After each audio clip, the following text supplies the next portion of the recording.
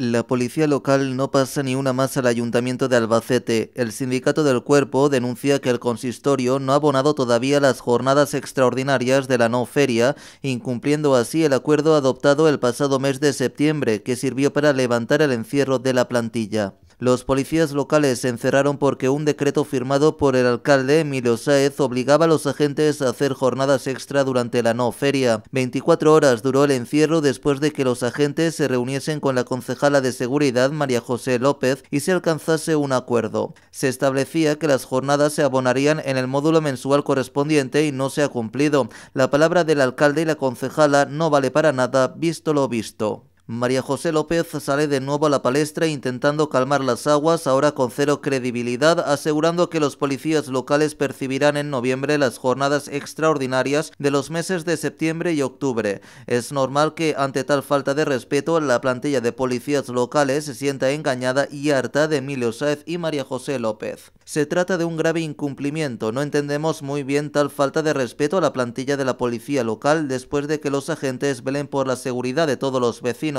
es que parece que Emilio Saez no es garmienta y que le guste estar envuelto de la polémica después de la que le montaron los agentes hace unos meses que se ate los machos el marqués de Macael porque la plantilla de la policía local se siente engañada y el sindicato no descarta volver a las movilizaciones. Es una falta de responsabilidad por parte de Emilio Saez y también de María José han afirmado López. que no Además habrá de no subida en los cumplir con el impuestos acuerdo, y- estos dirigentes tampoco tienen la sensatez de comunicar el retraso del pago de las horas extra. Un Alguno alcalde con las licencias pies, municipales señor como Emilio alcalde Sáez. Sáez es de los